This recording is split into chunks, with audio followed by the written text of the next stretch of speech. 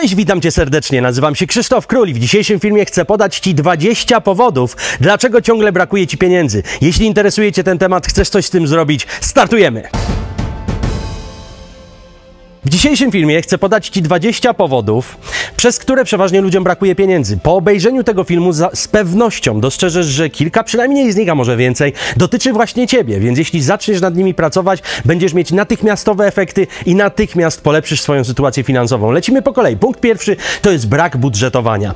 Brak tego, że ogarniasz swoje finanse, czyli sprawdzasz wszystkie swoje przychody, wszystkie swoje wydatki, masz to zapisane z miesiąca na miesiąc, dzięki czemu jesteś w stanie kontrolować, co się dzieje z tymi pieniędzmi? Gdzie one ci przeciekają przez palce? Jak to jest, że ciągle masz za mało? Punkt drugi to jest brak awaryjnych oszczędności. Bardzo często Wam o tym opowiadam, że właśnie ludzie zaczynają wpadać w spiralę kredytową, przeważnie w momentach, kiedy po prostu nagle brakuje im pieniędzy z jakiegoś powodu. No trzeba jakieś leczenie zrobić, na przykład dla siebie czy dla dziecka i zapłacić, bo na NFZ będziesz czekać 3 lata na operację, albo na przykład zepsuje ci się samochód, zepsuje się lodówka, czyli rzeczy po prostu, które trzeba zapłacić, a jak nie masz pieniędzy, nie masz właśnie jakiegoś awaryjnego konta, konta na czarną godzinę, gdzie mógłbyś trzymać sobie część swoich oszczędności właśnie na takie wypadki, no to niestety jesteś zmuszony wtedy, żeby brać jakieś chwilówki, pożyczać od ludzi i tak przeważnie zaczyna się ta spirala kredytowa. Punkt trzeci. To jest coś powiązanego, czyli życie cały czas na kredytach. Wydawanie ponad stan, życie ponad stan.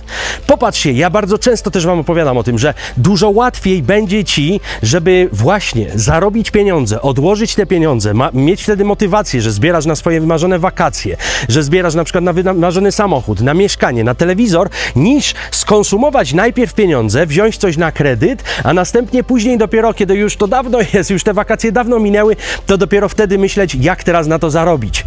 Więc i pod względem finansowym, i pod względem Twojej motywacji wewnętrznej dużo lepiej na coś nazbierać i dopiero kupić, niż brać na kredyt i później spłacać. Kolejny punkt czwarty, to jest niewłaściwe zarządzanie długami.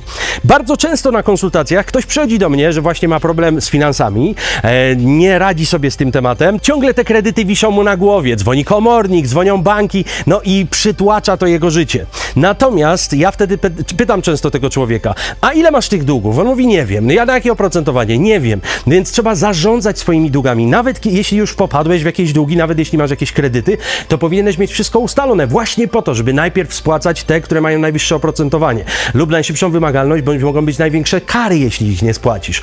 Czyli posegregować sobie to. Na samym końcu spłacać te, które może gdzieś tam, nie wiem, pożyczyłeś od mamy pieniądze, ona nie potrzebuje tych pieniędzy teraz, więc jest w stanie dłużej poczekać. Więc zarządzanie długami sprawi, że będzie ci dużo łatwiej właśnie się ich pozbyć, a co więcej zrobisz to, cały proces przejdzie bez większego stresu. Punkt piąty to jest brak inwestowania.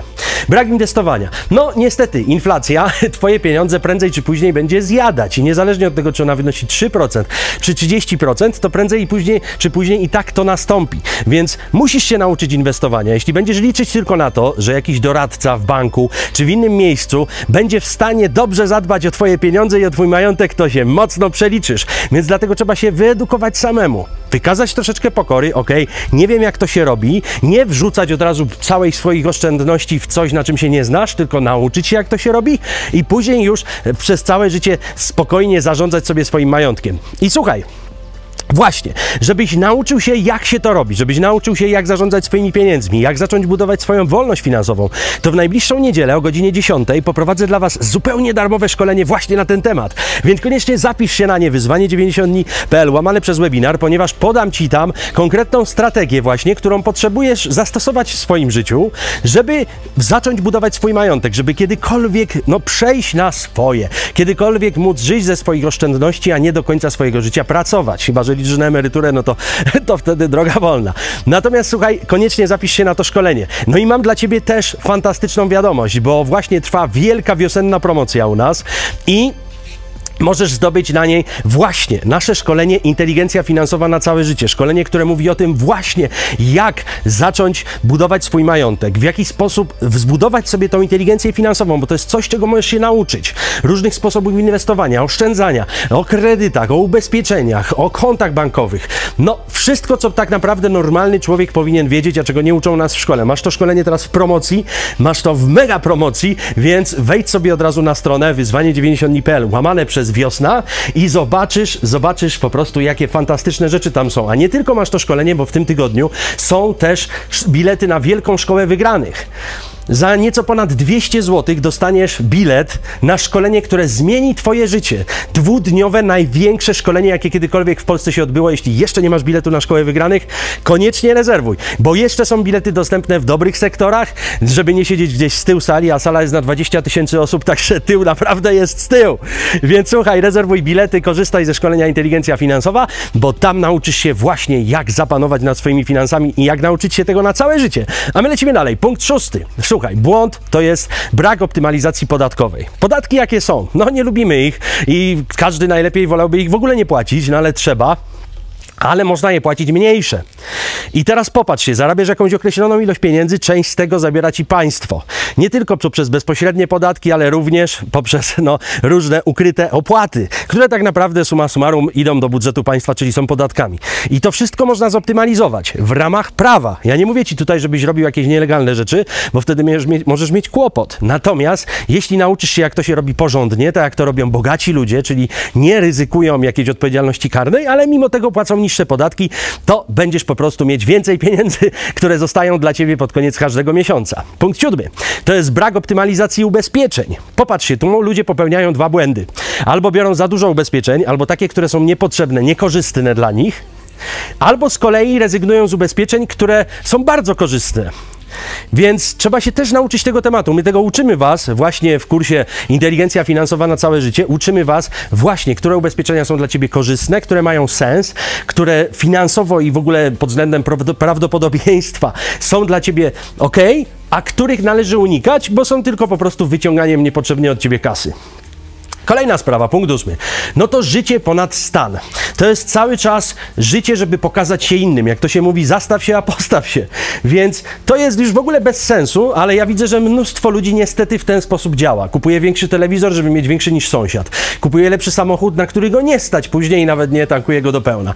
Następnie kupuje sobie jakieś markowe ciuchy, zegarki czy inne akcesoria, na które po prostu człowieka nie stać, a później je y, suchy chleb y, z, z masłem, bo nie stać go już na jedzenie. Więc no to jest chyba już podstawowy błąd, jaki popełnia wiele osób. Kolejna sprawa. Punkt dziewiąty to jest brak edukacji finansowej. Czyli brak właśnie tego, żebyś ty wreszcie zajął się tym tematem swojego życia. To, że nie uczą cię tego w szkole, to, że większości z nas nie nauczyli tego rodzice właśnie, w jaki sposób te finanse ogarnąć, to nie znaczy, że jest to temat, który możemy pominąć. Jeśli pominiesz ten temat w swoim życiu, nie nauczysz się tego, nie nadrobisz sobie tej wiedzy, która jest tak potrzebna, niestety zapłacisz za to ogromną cenę. Punkt dziesiąty. To nieprzemyślane decyzje inwestycyjne, czyli znowu właśnie dokonywanie inwestycji tam, gdzie się nie znasz. Bardzo często ludzie są naciągani na różne skamy, a im bardziej popularny stał się internet, tym więcej tych skamów powstaje, tym więcej osób będzie namawiać cię, naciągać na różnego rodzaju jakieś lipne interesy, w których prawdopodobnie stracisz wszystkie swoje pieniądze. Ale znowu, edukacja finansowa, czyli to, co masz w naszym szkoleniu właśnie Inteligencja finansowa na całe życie, czy to, czego będę uczyć Cię w niedzielę na, na, na tym webinarze o 10, to jest wiedza, którą otrzymasz podaną na tacy, która uratuje Twoje pieniądze. Punkt 11. Punkt 11. To kurczowe trzymanie się jakiejś pracy czy biznesu, które nie są dla ciebie optymalne. Bardzo często ludzie siedzą w pracy tylko i wyłącznie ze strachu przed tym, że nie znajdą lepszej. Trzymają się jakiegoś biznesu, który ledwo zarabia pieniądze albo może wychodzą na zero, tylko dlatego, bo już się do niego przyzwyczaili, bo jest dla nich taki, no traktują ten biznes emocjonalnie jak swoje dziecko, a nie po prostu jak miejsce zarabiania pieniędzy. Więc często po prostu zmiana jest czymś koniecznym, żebyś znalazł pracę, w której się realizujesz, w której możesz awansować, w której której możesz dostawać więcej pieniędzy, jeśli pracujesz lepiej, dzięki czemu motywujecie to do rozwoju, do bycia coraz lepszym człowiekiem. To samo w biznesie. Biznes, który nie ma perspektyw, który ledwo zipie, to być może już jest biznes, z którego warto byłoby wyjść i zająć się czymś innym. Więc no, pamiętaj o tym zawsze, że w życiu normalną rzeczą jest zmiany, a im bardziej my idziemy technologicznie do przodu, tym te zmiany są częstsze. Kolejna sprawa, punkt 12. To brak długoterminowych celów finansowych. To, co, to jest coś, czego ja Was będę uczyć na tym szkoleniu w niedzielę o godzinie 10 zupełnie za darmo, także jeśli jeszcze się nie zapisałeś, zrób to teraz. I coś, czego uczymy Was właśnie w kursie, e, w kursie Inteligencja Finansowa na całe życie, który masz teraz w promocji, przypominam, wyzwanie 90 dni.pl łamane przez wiosna.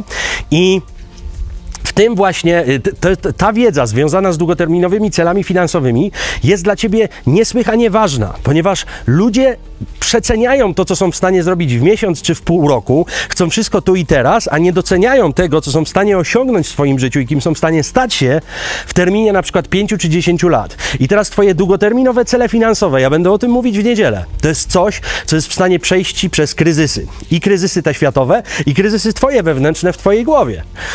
To jest coś, co jest w stanie wyznaczać ci po prostu długoterminowy kierunek, żebyś nie robił, nie, działał w swoim życiu, jeśli chodzi o twoją karierę czy o twoje finanse, że robisz dwa kroki do przodu, trzy kroki w tył, no bo tak nigdzie nie zajdziesz. Tylko właśnie, żeby twoje działania były spójne, że nawet jak masz różne prace, różne biznesy, różne sposoby zarabiania pieniędzy, to w długim terminie wszystko się po kolei składa w jedną całość, która ma sens. Punkt trzynasty to nieporównywanie ofert finansowych, czyli podejmowanie różnych decyzji o zakupach, o inwestycji, o wyborze konta bankowego, o wyborze właśnie ubezpieczenia, e, o wyborze jakiegoś tam produktu czy usługi bez odpowiedniego przygotowania, czyli bez porównania, bez sprawdzenia, jaka jest oferta na rynku. Bardzo często ten jeden dodatkowy procent czy 2% na Twoim koncie bankowym i to, e, czy, czy na karcie kredytowej są w stanie przez kilka lat uzbierać się w całkiem konkretne pieniądze.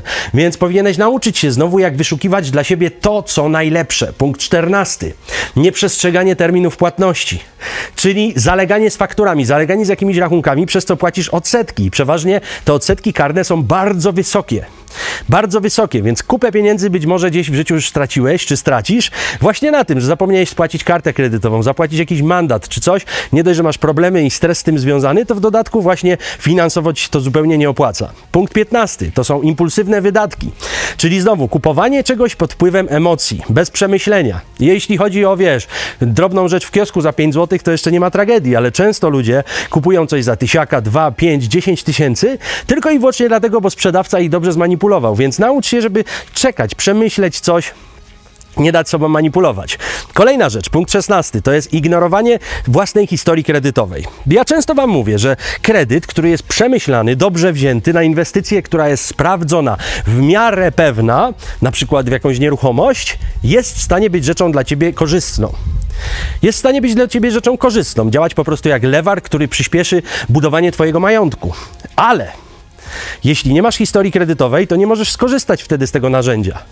Z bankami można współpracować i można na tym wychodzić dobrze, tylko trzeba no, znać się na tym, dobrze czytać umowy, negocjować te umowy, ale również mieć tą histerię kredytową. I nie tak wcale ciężko jest ją budować, po prostu właśnie trzeba nie zalegać z płatnościami, spłacać zawsze, jeśli masz jakieś karty kredytowe, czy jakieś kredyty wcześniejsze, zawsze na czas, to ma być święte. Do tego faktycznie mieć porządek w dokumentach, porządek w swojej całej historii kredytowej i wtedy możesz, jak przyjdzie czas y, odpowiedni na to, to jesteś w stanie wtedy skorzystać właśnie z tego typu usługi. Punkt 17 to jest brak finansowej, y, komunikacji finansowej w rodzinie.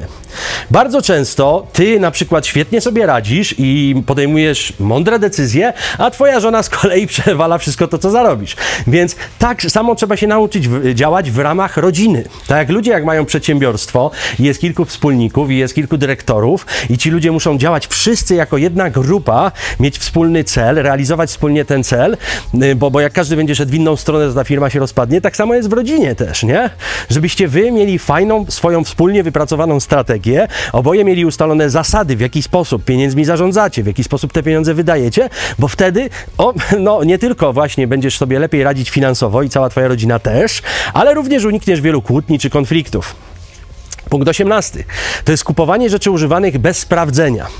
Często widziałem takie przypadki, to dotyczyć może, wiesz, samochodu, mieszkania, gdzie pojawiają się wtedy kolosalne konflikty. No, jeśli e, kupisz samochód, w którym jest remont silnika na przykład, to może więcej ten remont kosztować niż to auto. Jeśli kupisz mieszkanie, w którym jest jakaś trudna sytuacja prawna nierozwiązana, czy są jakieś usterki, na przykład fundamentów, to też remont może przekroczyć wartość samego obiektu. Ale tak samo dotyczy to jakichś drobnych pierdół. Kupujesz używany komputer, czy używany telefon, czy cokolwiek innego, to trzeba zawsze to dobrze sprawdzić. Mój znajomy ostatnio kupił właśnie kolumny, no i się okazało, że dwie z pięciu były spalone. No i nie sprawdził nawet, dopiero ja mu powiedziałem, jak przyszedłem do niego pomierzyć wszystko.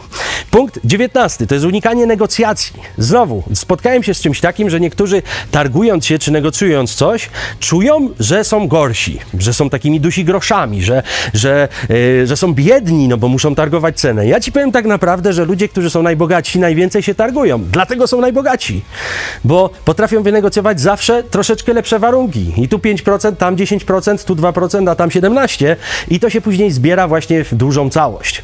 Punkt 20, ostatni. To jest brak świadomości oszustw. Czyli znowu coś, czego uczymy Was w programie Inteligencja Finansowa na całe życie.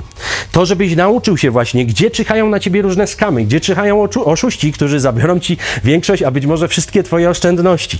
To jest znowu element Twojej edukacji finansowej, który musisz po prostu poznać.